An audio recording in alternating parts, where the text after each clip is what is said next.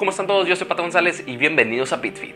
La semana pasada estuvo bastante saturada con todas las conferencias de videojuegos del E3, que fueron principalmente Nintendo, Sony y Xbox, que presentaron todas sus consolas nuevas y todos sus nuevos juegos, que estuvo bastante interesante y muy reñido todo.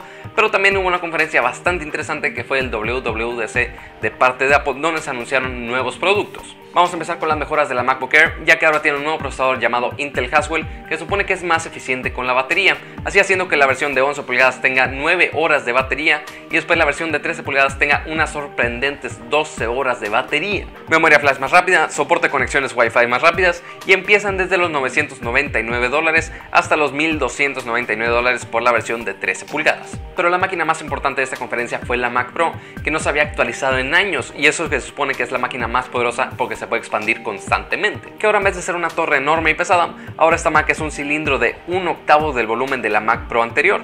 Ahora con procesador Intel Xeon de hasta 12 núcleos, memoria RAM de 1266 MHz que es el doble rápido del anterior, nueva memoria flash de velocidades de arriba de 1 GB por segundo, conexiones Thunderbolt versión 2 y será la primera Mac que tendrá dos procesadores de video con soporte hasta tres pantallas de 4K simultáneamente. Más adelante en la conferencia se enfocaron un poquito más en lo que es el software. Se anunció iWork para iCloud que es básicamente la compilación de Pages, Numbers y Keynote, pero disponibles en cualquier explorador web, inclusive en Windows, que es básicamente una competencia directa a lo que sería Google Docs y Office 365. Pero lo interesante comenzó cuando se presentaron los nuevos sistemas operativos, empezando con el OS X Mavericks, que ya por fin dejaron todos los nombres de felinos y ahora serán nombres de partes de California, empezando con Mavericks, que tiene mejoras de eficiencia para que no gaste mucha batería, aplicaciones en pantalla completa que ya por fin pueden funcionar bien con múltiples pantallas, que era uno de los grandes problemas que presentaba el sistema operativo desde Lion, un nuevo Safari ahora con interacción social de todas sus diferentes redes sociales, un llavero de iCloud que se encarga de guardar tus contraseñas en tus diferentes dispositivos iOS,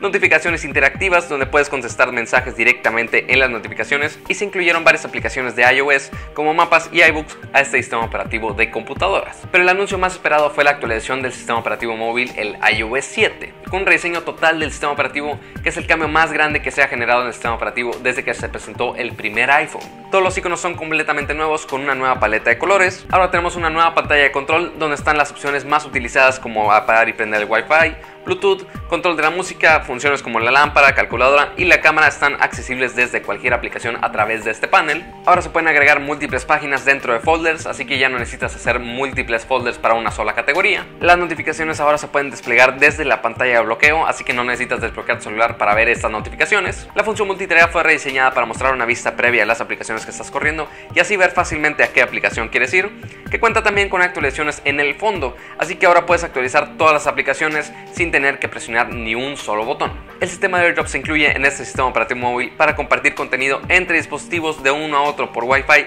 sin tener que estar tocando dispositivos. Las aplicaciones de la cámara y las fotos fueron rediseñadas para acomodar tus fotos, agregar filtros y también puedes compartir tus fotos con PhotoStream mucho más fácil. Siri se renueva con una nueva voz e inclusive agregando una voz masculina. Y un detalle interesante es que ahora los resultados no son de Google, sino que son una búsqueda de Bing. Supongo que es parte de la campaña de ser anti-Google de parte de Apple. Y algo muy importante es la integración con los carros, ya que ahora puedes tener esta misma interfase de iOS 7 en tu carro y hacer llamadas, usar Siri, mapas, responder mensajes por voz, etcétera, etcétera. Y varias marcas lo van a incluir en sus carros este año 2014. Y también se lanzó un servicio de música muy similar a Pandora llamado iTunes Radio, en donde puedes elegir diferentes estaciones de radio y modificar si te gusta una canción o no para ir mejorando tu estación.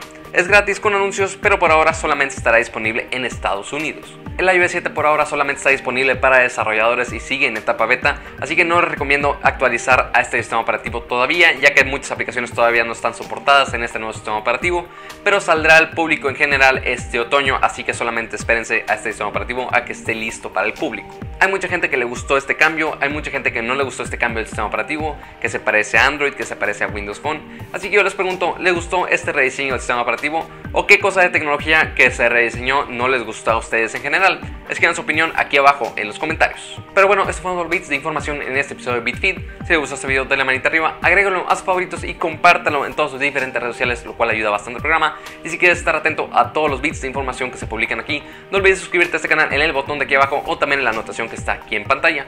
Y si quieres recibir más información en todas las redes sociales, les recomiendo que nos sigan en Twitter, en Facebook y en Google Plus, donde estamos actualizando constantemente. Estamos haciendo transmisiones en vivo por Hangout y demás cosas, así que les recomiendo mucho que nos sigan en todas estas diferentes redes sociales.